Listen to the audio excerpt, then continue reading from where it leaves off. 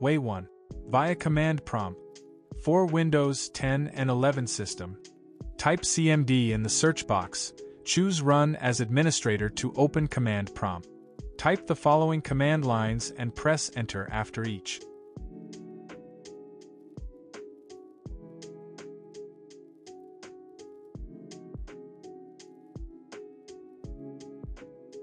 For older versions like Windows 8, you need to enter another commands one by one. Way 2. Via Windows PowerShell. Type PowerShell in the search box, choose Run as administrator.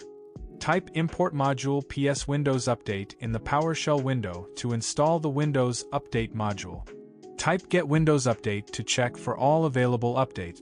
Enter Install Windows Update to begin installing the Windows Update. In some cases, the command line may fail due to other errors.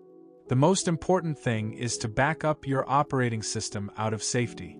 The easiest and quickest way to make a backup of the operating system to a different disk is to clone OS via a reliable OS migration tool. Once something bad happens, you can restore them from the backup.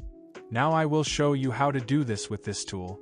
If you find it useful later, please hit the link in the description this feature is available in its advanced edition. Run the tool. Click Clone and Migrate OS. Select your new drive as the destination for the OS backup. You are allowed to resize the system partition and change the drive letter on the new SSD.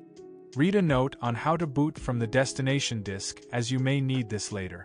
Click Apply and then proceed to back up your operating system to new drive. Thanks for watching till here, I'll see you in the next two videos. If you have any questions please leave comments or email us.